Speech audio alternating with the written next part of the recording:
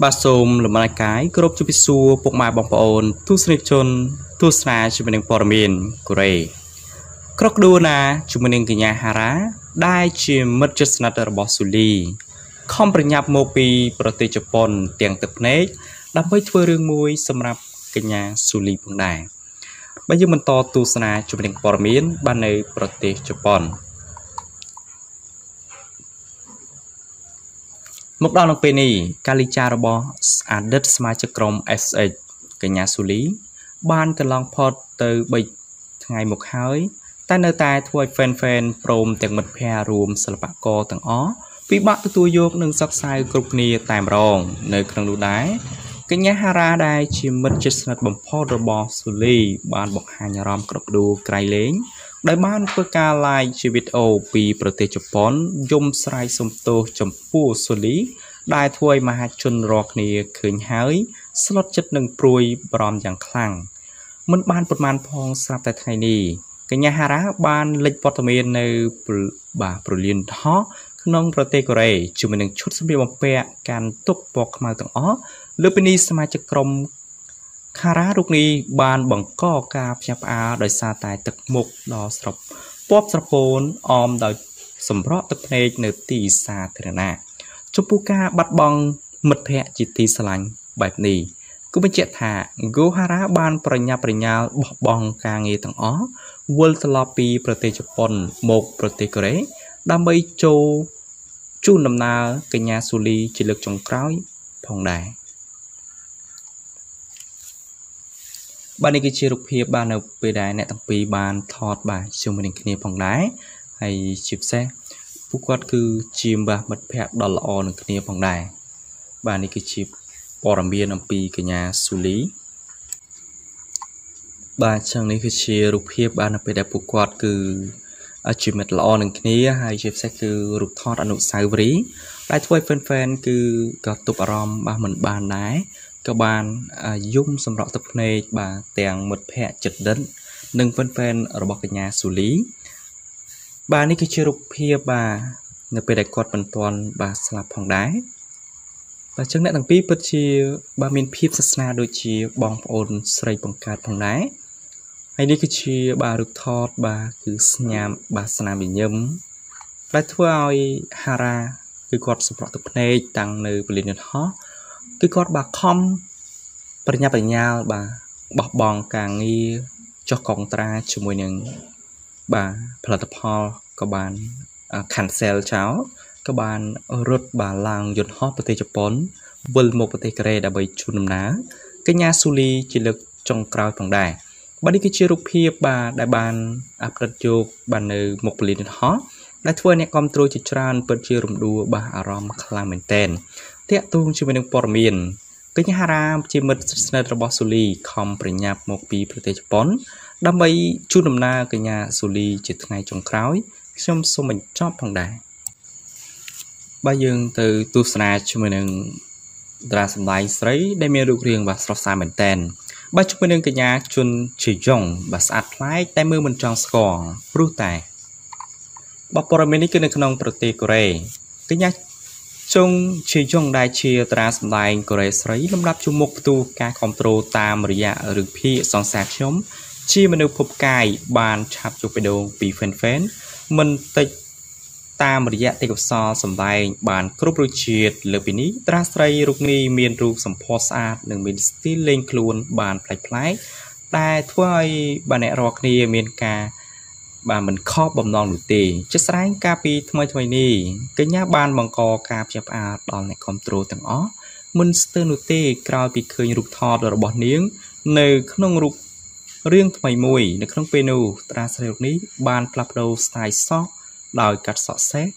ដែលមើលទៅពិតជាខុសរាល់សប្ដងជាមួយគ្នាដែរគ្រាន់តែឃើញបែបនេះភ្លាមមានមហាជនជាច្រើន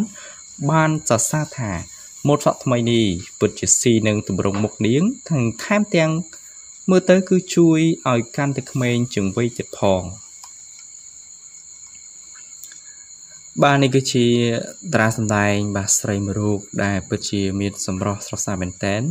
ហើយជាពិសេសគឺកញ្ញាគឺគាត់បានអាប់ដូរបាទ style អសក់តែមើលទៅគឺមិនចង់ស្គាល់បាទជាមួយនឹងទម្រង់មុខបាទកាត់សក់សេះហើយជាមួយនឹងបាទ style ទម្លាក់ផងដែរបាទប្រិមិត្តស្គាល់ហើយបាទជាមួយនឹងតារារូបនេះដែលនៅក្នុងខ្សែភាពយន្តគឺទទួលបានការគ្រប់គ្រងច្រើនមែនទែន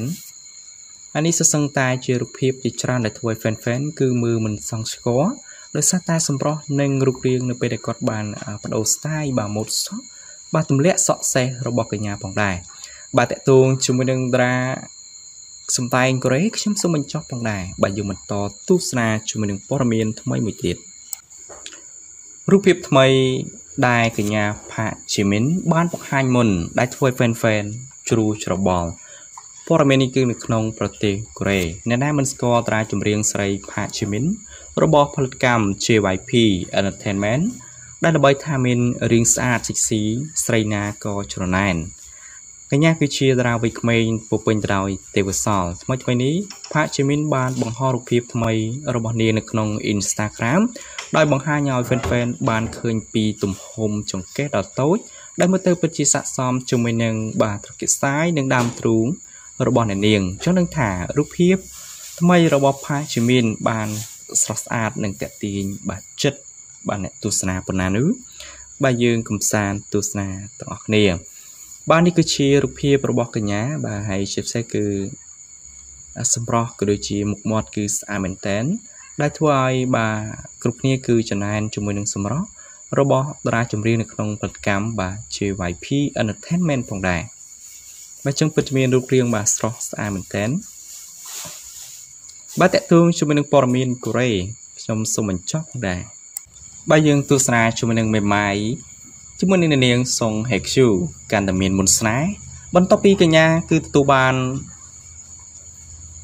បាទទីសាបាទខ្លាំងមែនតែនបាទព័ត៌មាននេះគឺក្នុងប្រទេសកូរ៉េកាលពីម្សិលមិញនេះកម្ពុជាត្រាសម្ដែងស្រីសុងហេកស៊ូ បានបង្ហាញខ្លួនកម្មវិធីសម្ពោធរបស់ប្រេនល្បីឈ្មោះនៅក្នុងទីក្រុងសេអ៊ូលនេះគឺជាការបង្ហាញខ្លួនជាសាធារណៈលើកដំបូងបំផុតនៅក្នុងប្រទេសកូរ៉េបន្ទាប់ពីនាងបានលែងលះជាមួយនឹងអតីតស្វាមីវ័យក្មេងគឺលោកសុងជុងគីមិនថាយ៉ាងណាចាប់តាំងពីប្រកាសលែងលះគ្នាជាផ្លូវការទៅតាមផ្លូវច្បាប់ខ្លាយទៅជាមេម៉ាយក្តៅស្រួយមហាជនគ្រប់គ្នាសង្កេតឃើញថា សម្រាប់របស់ សម្រស់របស់តារាស្រីសុងហេកស៊ូកាន់តែមានភាពស្រស់ស្អាតផូរផង់ពិសេសកាន់តែមានមុនស្នេហ៍តាក់ទាញបែបនារីវ័យកណ្ដាលថែមទៀតផងជាស្រ័យក៏ដូចជាការពីម្សិលមិញការបាញខ្លួនរបស់សុងហេកស៊ូបានបង្កការផ្ទះផ្អើលយ៉ាងខ្លាំងដល់ភ្ញៀវកិត្តិយសដែលបានចូលរួមទាំងអស់គ្នាជាមួយនឹងសម្រស់នឹងការតតែងខ្លួនរបស់អ្នកនាង វាពិតជាស័ក្តិសមជាកពូត្រាសម្ដែងលំដាប់លេខ1ប្រចាំប្រទេសអាស៊ីមិនខុសឡើយជាការពិតណាការបាញ់ខ្លួនរបស់អ្នកមេម៉ាយចាយសម្រាប់នេះទទួលបានការកោតសរសើរយ៉ាងច្រើនលើលប់ពីបណ្ដាអ្នកនិយមលេងអ៊ីនធឺណិតដែលនាងបានស្លៀករ៉ូបបាទពណ៌ខ្មៅទម្លាក់សក់ផាត់មុខបែបស្ដាងស្ដាងដែលមានស្នាមញញឹមតិចតិចពោពេញទៅដោយភាពថ្លៃថ្នូរនិងគួរឲ្យលងស្នេហ៍មិនតែប៉ុណ្ណោះសម្រាប់បច្ច សម្រាប់បច្ចុប្បន្នរបស់នាងក៏កំពុងតែក្លាយជាប្រធានបទក្តៅនៅលើបណ្ដាញសង្គមអ៊ីនធឺណិតថែមទៀតផង បាទជាមួយនឹងបាទនាងសុងហេកស៊ូបាទប្រិមិត្តជាច្រើនគឺស្គាល់ហើយជាមួយនឹងខ្សែភាពយន្តជាច្រើនដែលសម្ដែងជាមួយនឹងលោកសុងជូគីហើយអ្នកទាំងពីរគឺបាននៃលក្ខណៈទៅតាមផ្លូវច្បាប់ផងដែរបច្ចុប្បន្ននេះទីសាររបស់នាងសុងហេកស៊ូនេះគឺទទួលបាន ការបាទស្គាល់ច្រើនក៏ដូចជា sponsor បាទហាង brand brand និងផលិតផលក៏ដូចជាត្បូងពេជ្រនៅក្នុងប្រទេសបាទកូរ៉េនេះផងដែរបាទទីក្រុងសេអ៊ូលហើយនេះគឺជាសម្រស់បាទបច្ចុប្បន្ននេះផងដែរហើយជាពិសេសគឺការចូលរួមបាទម្សិលមិញនេះគាត់បានតបតែងខ្លួនយ៉ាងស្រស់អស្អាតមែនតើបាទជាមួយនឹងនៅនាងសុងហេកស៊ូបាទត្រូវបាន fan fan គឺបានលួចថតបាទជាមួយនឹងរូបភាពជាច្រើនសន្លឹក ដែលអ្នកនាងបានចូលរួមនៅក្នុងកម្មវិធីនៅទីក្រុងសេអ៊ូលផងដែរបាទចឹងនេះគឺជាសម្រស់ម្សិលមិញនេះផងដែរ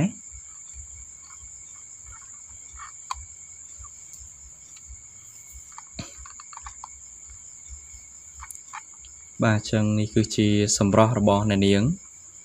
ហើយមើលទៅពិតជាស្រស់ស្អាតមែនតើ បាទតកតួងជាមួយនឹងព័ត៌មានកូរ៉េខ្ញុំសូមបញ្ចុះផងដែរបើសិនជាមានពាក្យពេចន៍ខុសឆ្គងត្រង់ចំណុចណាមួយបាទសូមមេត្តាខន្តីអភ័យទោសផងដែររបាទសម្ដីលើសលប់បាទត្រង់ប្រការណាមួយ បាទសូមចូលរួម like share ដើម្បីទទួលបានព័ត៌មានថ្មីៗជារៀងរាល់ថ្ងៃគុណកម្មការ Channel Cambodia បាទសូមចុចពាក្យ Subscribe ហើយចុចសញ្ញាកណ្ដឹងហើយយកពាក្យ All ដើម្បីទទួលបានព័ត៌មានថ្មីៗពី Channel Cambodia Daily 24របស់គ្នាលោកអ្នកអាចចុចលើវីដេអូដើម្បីទទួលបានព័ត៌មានតាមចំណងចំណូលចិត្តរបស់ពុកម៉ែបងប្អូនទស្សនិកជនផងដែរបាទចឹងមានព័ត៌មានជាច្រើន សម្រាប់ចែកជូនបាទដែលប្រិមិត្តបាទចូលចិត្តបាទទស្សនាមើលពី Channel របស់យើងខ្ញុំផងដែរ បាទសូមអរគុណសូមជម្រាបលា